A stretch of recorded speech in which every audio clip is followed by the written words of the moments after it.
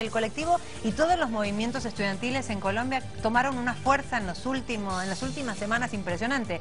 Fíjense que dice el portal La Patria, también versión eh, impresa. Suspender el paro es una misión del gobierno. Sergio Fernández es un vocero de la Mesa Amplia eh, Nacional Estudiantil en Colombia y dijo que su movimiento está empeñando la palabra. La mesa decidió que levantarían la huelga nacional en cuanto el gobierno de Juan Manuel Santos, el gobierno nacional, cumpliera tres condiciones.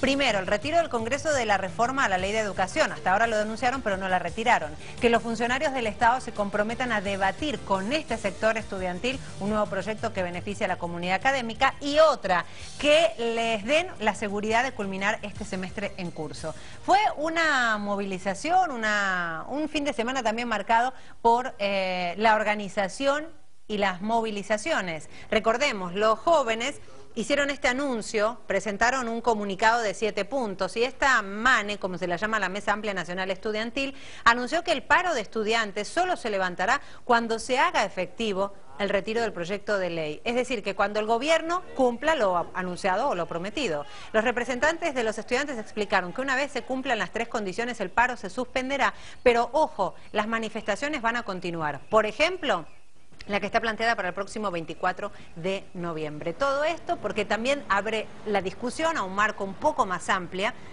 y que entendamos, la educación necesita una reforma, pero no la que estaba planteando el gobierno porque eso abre las puertas a la privatización.